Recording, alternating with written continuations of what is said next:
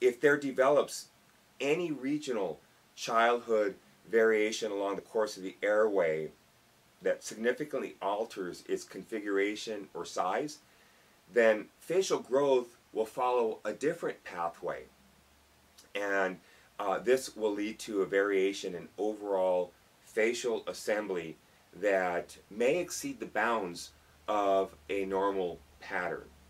So the net net is, is that this complex stru structure with so many diverse tissues and organs are highly dependent and integrated with each other. So we need to understand that when we're uh, dealing with any one part, the effect, a ripple effect that, that it can have on the entire structure.